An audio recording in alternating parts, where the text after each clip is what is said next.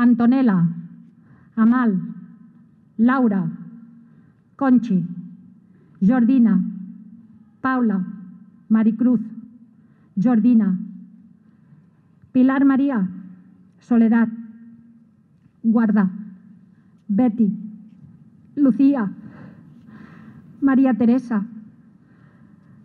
Katia, perdone, Carolina, Nicoleta, Alá, Caterina, Mary, Rocío, Alicia, Consuelo, África, Hasna, Johanna Andrea, María Ángeles, Pamela, Oxana, Carmen, María Pilar, Zuita, Mónica, Erika, María Isabel. Basta ya. Buenas tardes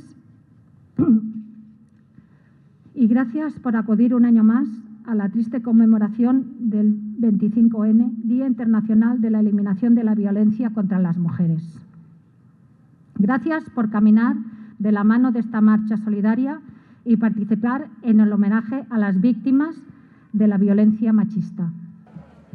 El Campello ha alzado la voz esta tarde de jueves 25 de noviembre contra la violencia machista, rindiendo un homenaje a las mujeres asesinadas por sus parejas o exparejas, a sus familiares y amigos y a las que lo sufren cada día.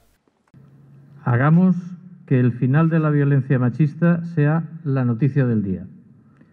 Todos los esfuerzos e inversiones que sean necesarios para que las mujeres dejen de morir, dejen de sufrir para que sus familiares y amigos no tengan nunca más que preguntarse por qué. Por la mañana, en la sesión plenaria ordinaria, el Ayuntamiento del Campello se ha adherido a la declaración de la Federación Española de Municipios y Provincias contra la erradicación de la violencia hacia las mujeres y en pro de la igualdad efectiva entre mujeres y hombres.